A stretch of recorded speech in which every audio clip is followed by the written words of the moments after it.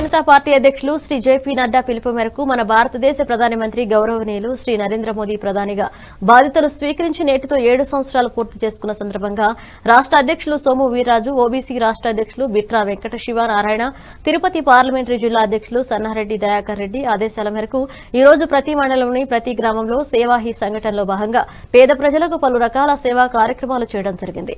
అందులో భాగంగా తిరుపతి పట్టణంలో ఓబీసీ మోర్చా రాష్ట్ర కార్యదర్శి పోకల ఈశ్వర్ యాదవ్ ఆధ్వర్యంలో తిరుపతిలోని ఫారా డెంటల్ పార్దా డెంటల్ హాస్పిటల్ నందు రక్తదాన శిబిరం నిర్వహించడం జరిగింది. ఈ కార్యక్రమంలో సుమారు యాభై మంది రక్తదానం చేశారు.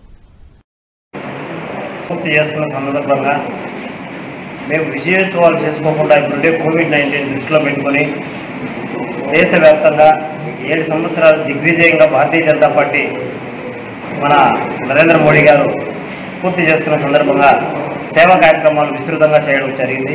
అందులో భాగంగా తిరుపతిలో ఓబీసీ మోర్చా తరఫున నరేంద్ర మోడీ గారు ఏడు సంవత్సరాలు పూర్తి చేసుకున్నదానికి మేము రక్తదాన శిబిరం ఏర్పాటు చేశాము. ఇందులో సుమారు యాభై మంది కార్యకర్తలు రక్తదానం చేయడం జరిగింది.